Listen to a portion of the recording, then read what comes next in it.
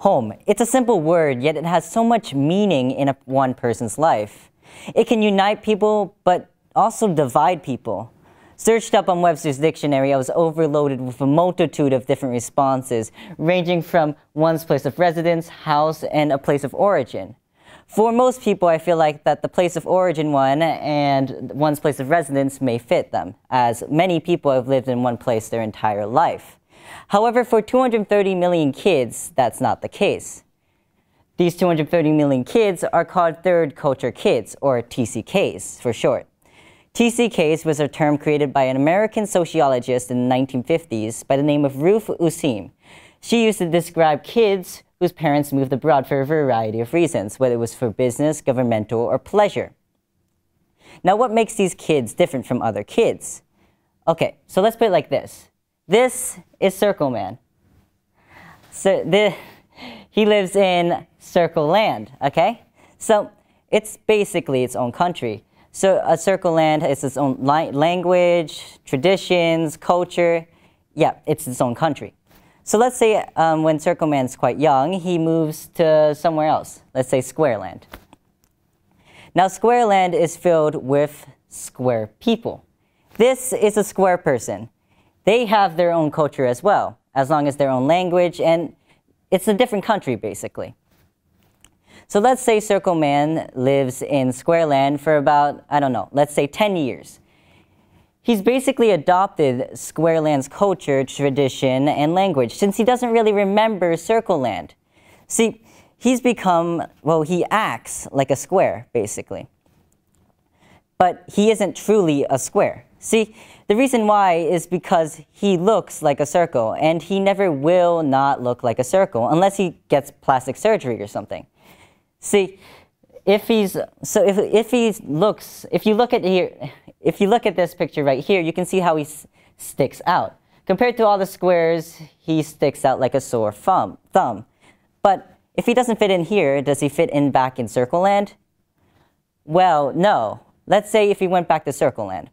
See, he may look like them, and from afar, he may look exactly like them and fit in, but he doesn't actually really fit in because if you look closer and get to know him and get to talk to him, first of all, he won't understand you because Circle Land has its own language and he doesn't know it. He only knows the square language. He also only knows the square traditions and basically he acts like a square. He's not truly a circle, but he's also not truly a square. So what is he? Where is his home? Well, the thing is that he's a hybrid, okay? Let's say he's a triangle now, I don't know, in the middle he has no home. And because of this lack of a home is what caused, caused third culture kids to struggle with their identity. See, me being a third culture kid myself, I, my mother was born in Hong Kong and lived there for most of her life. And my dad was born in the Philippines. And however, I was born in, the in Connecticut, USA, but didn't live there for very long as I moved to Miami, Florida at quite a young age. I once again didn't live there for very long and then moved to Tokyo, Japan, where I lived the majority of my life. Until then, a couple months ago, where I finally moved here to Naperville, Illinois. I have a U.S. citizenship and passport. However, bizarrely, I also have an Australian citizenship and passport for some reason because of my dad who moved to Australia when he was younger. See, it's complicated. I'm not sure where I truly am from. And when someone asks me, where are you from? I have the same answer. It's complicated. And even in my special situation, in Japan, I was surrounded by kids just like me. Kids who were mixed ethnically, who moved countless different places, kids who were just like me. In fact, my school was almost filled with kids like this.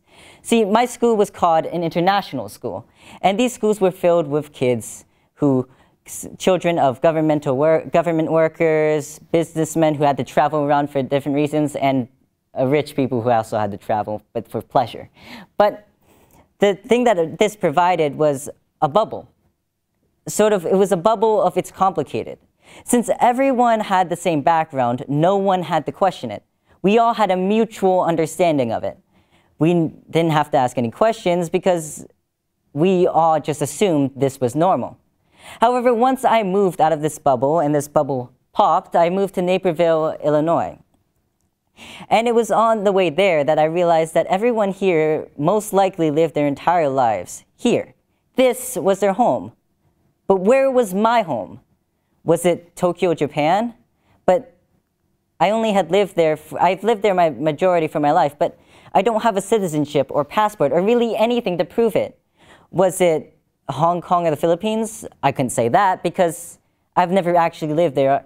And how about the US? I have a citizenship passport, I was born here. But once again, I don't really remember anything here. Sure, I'm here now, but I don't remember much. How about Australia? Oh. How about Australia? Well, it's quite obvious. I don't have an accent, and also, I've never lived there.